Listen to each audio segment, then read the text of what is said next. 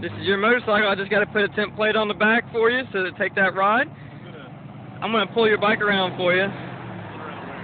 just in front of the sign so I can take a uh, picture in front of the business if that's okay with you.